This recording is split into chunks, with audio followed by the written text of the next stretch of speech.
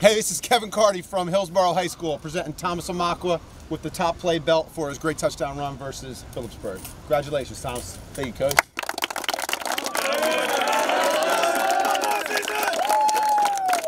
First, this win definitely means a lot to me, the team, definitely the whole entire community. Definitely brought us together. I mean, just definitely an eye open for the whole entire state, the whole conference. And I'd like to thank this whole team, the coaching staff, uh, everyone that voted, all the parents, all the teachers. Uh, it means the world to me to have this belt and uh, bring this to Hillsborough High School. So thank you.